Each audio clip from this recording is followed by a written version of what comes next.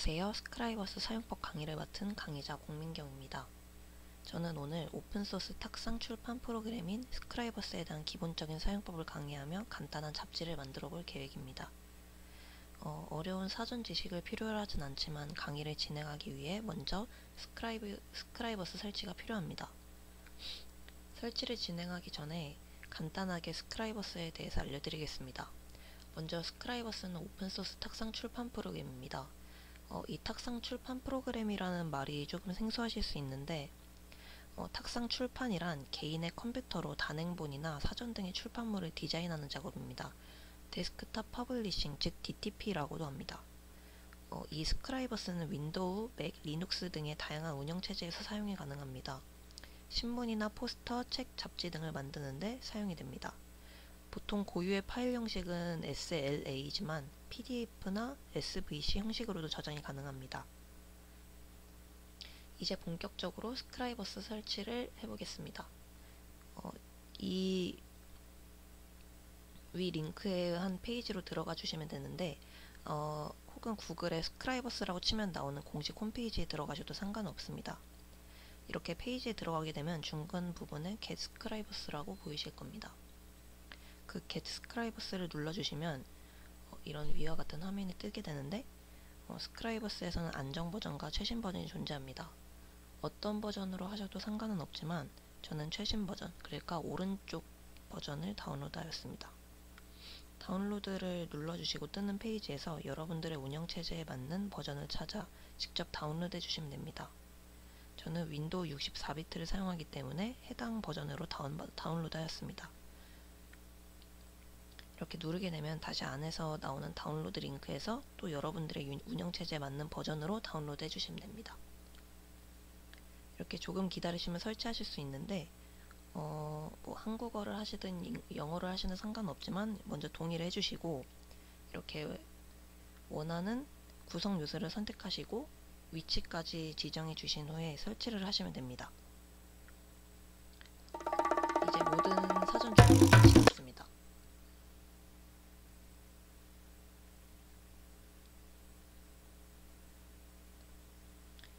이렇게 Scribus를 실행하게 되면 위와 같은 화면이 뜨게 됩니다. 어, 이거는 싱글 페이지로 한 면에 디자인하는 거고 어, 이거는 약간 책같이 뭐 여러 개의 페이지를 뭐 두 페이지로 나누어서 디자인을 할 수 있는지를 선택하는 건데 저는 잡지에 한 페이지만 만들어 볼 예정이기 때문에 한 면으로 선택하겠습니다. 어, 그럼 위와 같은 화면이 나타나게 됩니다. 어, 이 상태에서 아무리 빈 화면을 더블 클릭하더라도 이미지를 삽입하거나 글을 쓸 수는 없습니다. 글을 쓰기 위해 필요한 게 바로 문자열 프레임입니다. 어, 단축키인 T를 눌러 삽입하셔도 상관없고 이쪽에 있는 이 텍스트 프레임을 누르셔서, 누르셔서 삽입하셔도 상관없습니다. 그리고 이렇게 원하는 부위에 마우스를 드래그를 하면은 칸이 생기게 되는데 어, 이 칸이 이 프레임이 제가 글을 쓸 수 있는 하나의 공간이 됩니다. 이 크기는 나중에 조절할 수도 있기 때문에 처음엔 대충 만드셔도 상관이 없습니다. 이렇게 더블 클릭을 하면은 이제 글씨를 쓸 수 있게 됩니다. 이런 식으로 글씨를 적는데 한국어는 처음에 사용할 때는 사용이 이렇게 되지 않습니다. 이게 프레임 내에서 적용된 기본 폰트가 영어만 지원하는 폰트이기 때문입니다. 여기 프레임에서 이렇게 오른쪽 클릭을 누르시면 Content Properties가 뜨게 되는데 이게 텍스트 설정을 변경할 수 있는 그런 설정란입니다. 저는 이미 켜놨기 때문에 따로 한번 더 누르진 않겠습니다. 이렇게 프레임 이걸 사용하기 전에 먼저 아예 프레임 자체에서 어, 한글을 한글이 적용되는 음, 나눔 코딕을 사용해 보겠습니다. 이렇게 나눔 코딕을 사용하게 되면은 이런 식으로 사용이 됩니다. 이렇게 한글을 사용할 수 있고 아니면은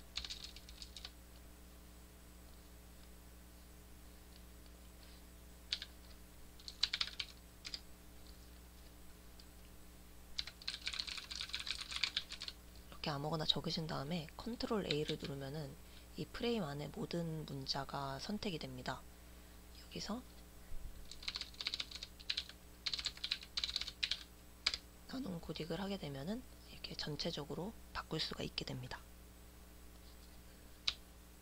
일단 간단한 아무, 아무 문장이나 한번 적어보겠습니다. 그리고 이 폰트를 바꿀 뿐만 아니라 크기나 이렇게 컬러나 이런 식으로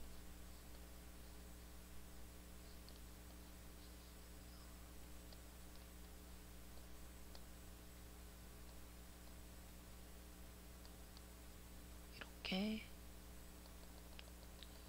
너비를 넓힌다거나 크기를 높이를 높일 수 있는 것처럼 이렇게 문자의 너비나 높이 등을 세세하게 변경할 수 있습니다. 물론 줄 간격들도 당연히 변경할 수 있습니다. 하지만 이렇게 자유자재로 텍스트 프레임을 여러 개 만들어서 사용한다면 텍스트 간의 간격이 맞지 않아서 지저분해 보일 수가 있습니다. 이때 필요한 것이 바로 안내선입니다. 저 이거는 삭제를 하겠습니다. 안내선은 프레임의 간격을 손, 손쉽게 맞추기 위해 사용합니다.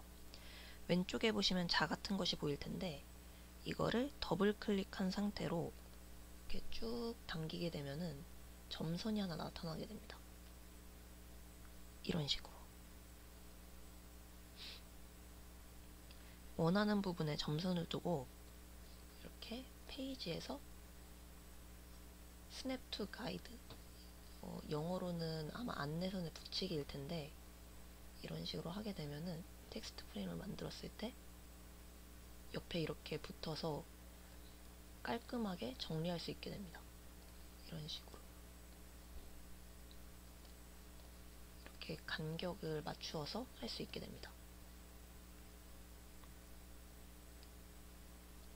어, 만약 안내선을 정확한 단위로 맞추고 싶다면 이렇게 빈 화면에서 오른쪽 클릭을 하시면 매니지 가이드라고 안내선 설정하는 설정란이 보입니다. 제가 먼저 만들어둔 안내선이 있는데 이거를 삭제할 수도 있고 이렇게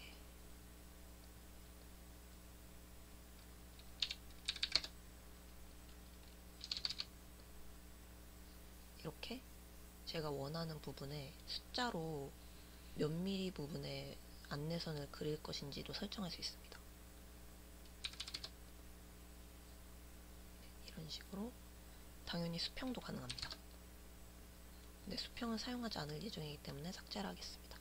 이렇게 Apply to All 페이지를 누르면은 지금 적용된 모든 페이지에 이것이 적용이 됩니다. 저는 일단 한 페이지밖에 없기 때문에 이 페이지에만 적용이 됩니다.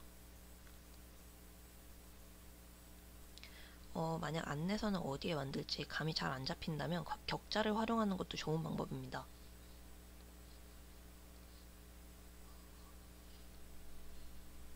이렇게 View에 보시면 Grid and Guide라고 보이는데 먼저 Show Guide는 제가 그린 안내선을 나타내는 것이고 이 Show Grid가 격자를 표시해 주는 것입니다. 이런 식으로 격자를 표시하게 되면은 초록 연두색으로 격자 무늬가 보이게 됩니다. 그래서 어느 부분에 안내선을 잡을지 쉽게 파악할 수 있습니다. 어, 근데 저는 격자를 사용하지 않을 것이기 때문에 이 격자는 해제하도록 하겠습니다. 이제 원하는 위치에 안내선까지 만들었으니 본격적으로 잡지를 한번 만들어 보기 시작하겠습니다. 잡지에는 기본적으로 글과 그림이 들어갑니다. 어, 글은 문자열 프레임에서 쓸 수 있었다면 이미지 또한 프레임이 존재합니다. 어, 바로 이미지 프레임입니다. 이미지 프레임을 만들고 안내선에 맞추어서 크기를 조정하도록 하겠습니다. 이게 바로 이미지 프레임인데 원하는 크기로 이미지 프레임을 만듭니다. 그리고 이 이미지 프레임을 더블 클릭하면은 이미지를 삽입할 수 있게 됩니다. 저는 무료 사진 배포 사이트인 픽사비에서 다운받은 사진을 하나 넣어 보겠습니다.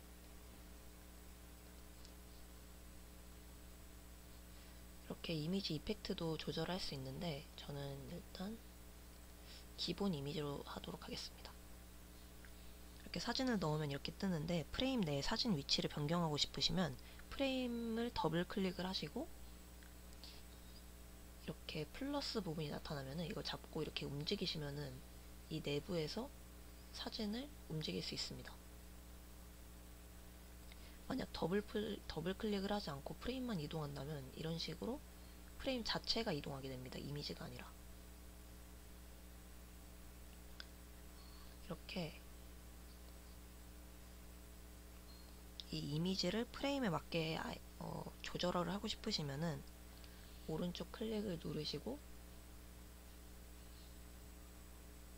이 Adjust Image to Frame을 누르면은 이렇게 프레임에 맞게 이미지가 조절이 됩니다. 여기에 맞게 프레임을 조절할 수도 있고 아니면은 프레이 뭐 이미지에 맞게 프레임을 조정할 수도 있습니다. 이런 식으로 저는 프레임을 조절하는 것보다 이렇게 한 후에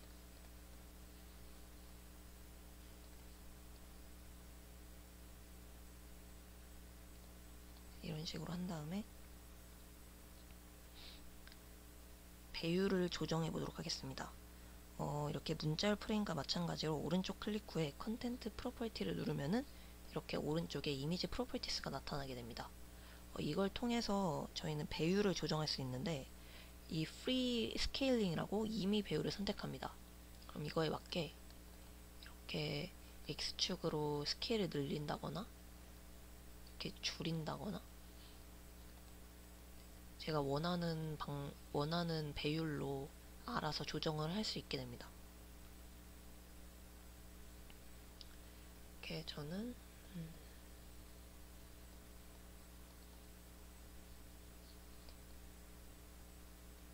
이 정도로 하고 위치를 이런 식으로 조정하도록 하겠습니다. 이렇게까지 하면 하나의 이미지의 삽입은 성공한 것입니다. 그리고 이 밑에 텍스트 프레임을 하나 만들겠습니다.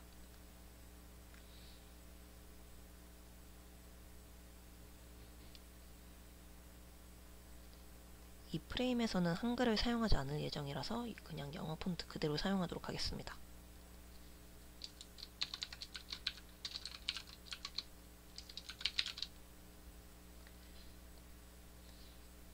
이렇게 크기를 늘리고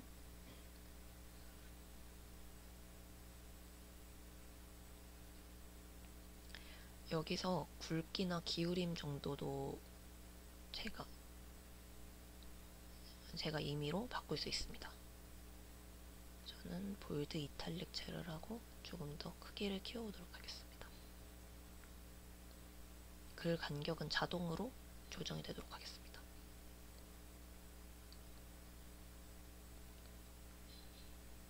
그리고 구분선을 하나 만들어줄 예정인데 구분선 만드는 건 쉽습니다. 그냥 이 위에서 이 선을 하나 클릭하시고 안내선에 맞게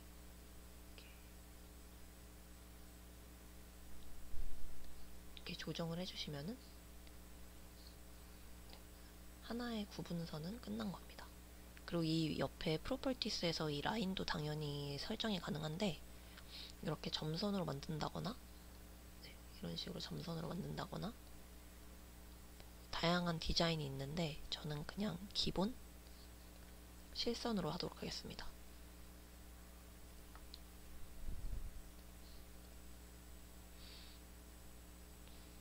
그리고 이제 본문을 적을 예정이기 때문에 어, 텍스트 프레임을 하나 더 만들어 보겠습니다. 이 정도 위치에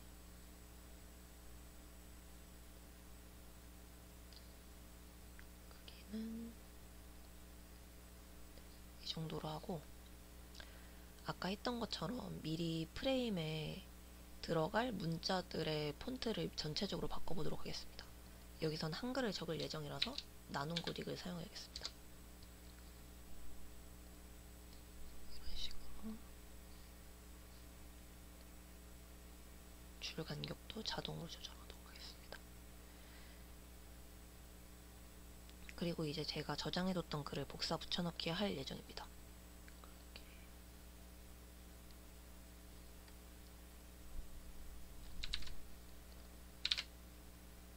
이런 식으로 하게 되면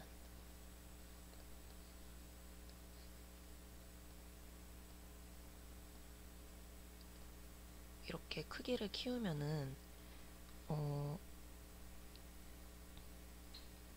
글의 길이가 프레임보다 글의 길이가 길어지기 때문에 중간에 글이 잘리는 일이 발생했습니다.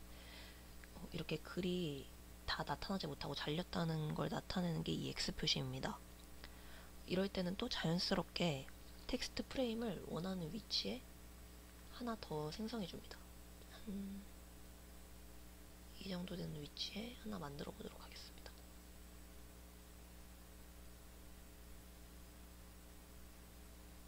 그러면 이렇게 만들어주면은 여기서 나타난 이 X 표시를 먼저 더블 클릭을 하게 됩니다. 그러면은 이런 표시가 나타나게 되는데 이, 이 글이 이어질 텍스트 프레임에 갖다 대고 클릭해주기만 하면 됩니다.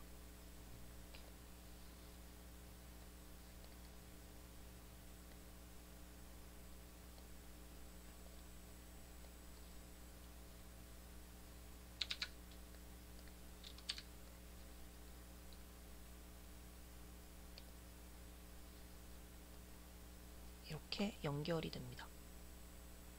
여기서도 좀 작기 때문에 이렇게 늘려주면은 이렇게 뒷 내용이 잘리지 않고 자연스럽게 다른 프레임에 연결이 되게 됩니다. 근데 글씨 크기가 조금 큰 것 같아서 좀 줄이도록 하겠습니다.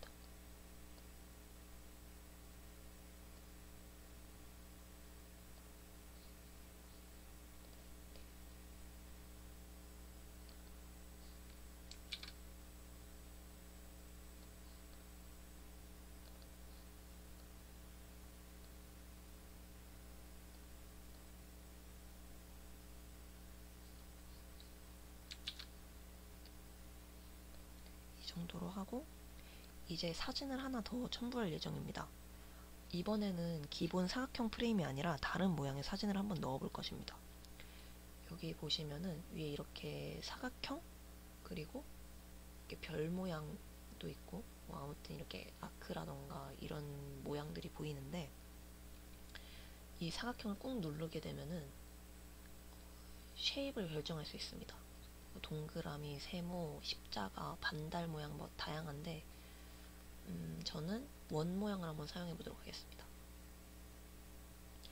이렇게 컨트롤을 누른 채 크기를 조절하면은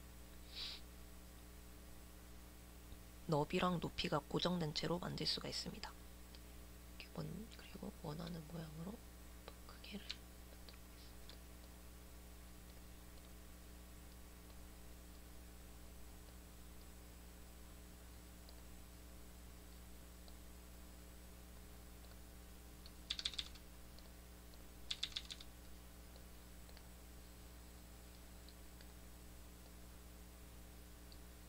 이런 식으로 만들게 되면 이 원을 한번 누르시면은 여기에 Convert to라는 게 보입니다. 이 원 자체에는 이미지를 삽입할 수 없기 때문에 이거를 프레임으로 바, 바꿔주는 작업이 필요한데 여기서 이 이미지 프레임을 누르게 되면은 이 원 자체가 이미지 프레임이 되게 됩니다. 혹은 텍스트 프레임으로 바꾸게 되면은 이 원 내부에서 제가 글을 쓸 수 있게 됩니다. 이 원 내부를 텍스트 프레임을 만들어서 글을 쓰게 되면은 원 모양에 맞추어서 자동으로 이 글이 써지게 됩니다.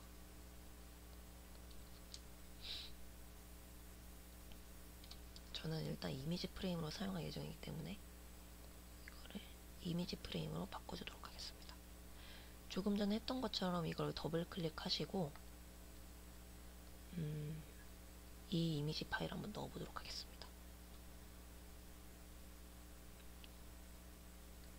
이전에 했던 거랑 비슷한 방식으로 이 내부 이미지 크기를 조절하도록 하겠습니다.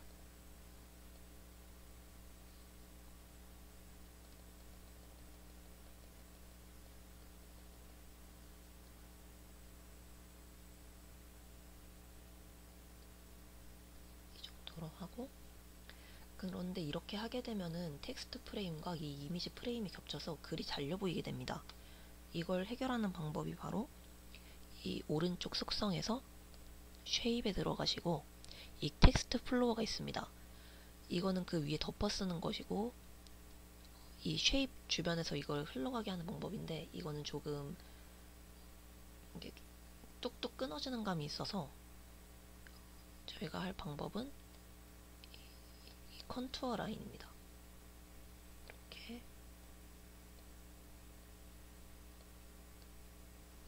이렇게 살짝 낮추면은 이 원의 둥근 모양에 맞춰서 텍스트가 잘려서 보이기 때문에 잘리는 문장 없이 온전하게 이 문장들을 전부 확인할 수 있게 됩니다. 그리고 또 했던 것과 마찬가지로 구분선을 하나 더 그었고 다른 본문을 하나 더 적어 보겠습니다.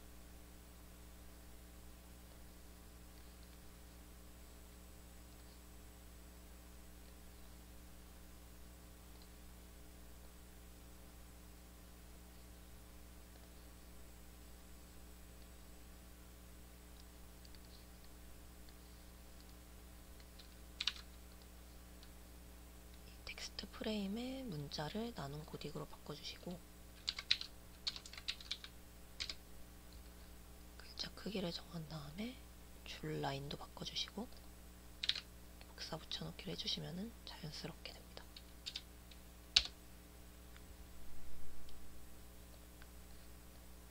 어 그리고 이 이미지 프레임에는 기본적으로 선이 들어가게 되는데 이 선의 모양을 한번 바꿔보도록 하겠습니다.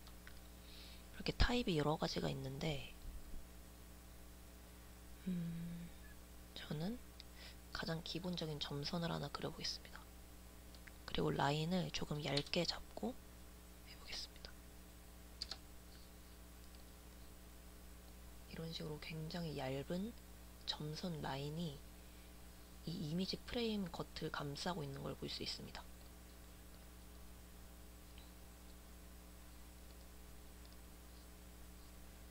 이렇게 하면은 전부 잡지를 만드는 거는 전, 일단 전부 끝났는데 이 스크라이버스에는 재밌는 기능이 하나 있습니다. 어, 그리고 임의로 ISBN과 같은 바코드를 생성할 수 있는데 이 위에를 보시면 이 바코드 모양의 무언가가 있습니다. 이 바코드를 한번 눌러보시면 Barcode Family라는 곳에서 뭐 여러 가지 바코드 종류를 고를 수 있습니다. 여기서 Point of Sale을 하시고 여기서 저희가 원하는 ISBN을 한번 해보도록 하겠습니다. 이러면은 정말 임의의 바코드가 하나 생성이 되는 겁니다. 저만의 바코드가. 그래서 이걸 OK를 하시면 이렇게 이렇게 제가 원하는 곳에 바코드를 생성할 수 있습니다. 이런 막대기 형식의 바코드 말고 이 2 Dimension Symbol에 들어가서 QR코드를 하나 생성할 수도 있습니다. 마이크로 QR코드, 뭐 매트릭스 이런 식으로 다양하게 저만의 바코드를 하나 만들 수도 있습니다. 이렇게 바코드를 그때 하나 설정을 하고 마지막으로 이 제가 만든 작품을 PDF로 저장하는 법에 대해서 알려드리겠습니다. 파일에서 이 Save가 아니라 익스포트에 들어가서 Save as PDF로 들어갑니다. 이렇게 PDF로 들어가서 경로를 제가 임의로 한번 설정해 보겠습니다. 원하는 경로에 이름을 바꿔서 뭐 파일 형식은 PDF 파일이고 그대로 저장을 하게 되면은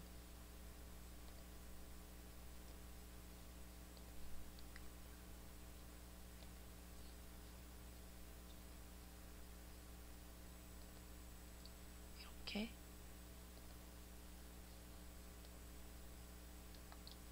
제가 만든 파일이 PDF로 저장이 되었습니다. 한번 확인해 보겠습니다. 정상적으로 제가 만든 이 잡지의 한 페이지가 저장된 걸 볼 수 있습니다.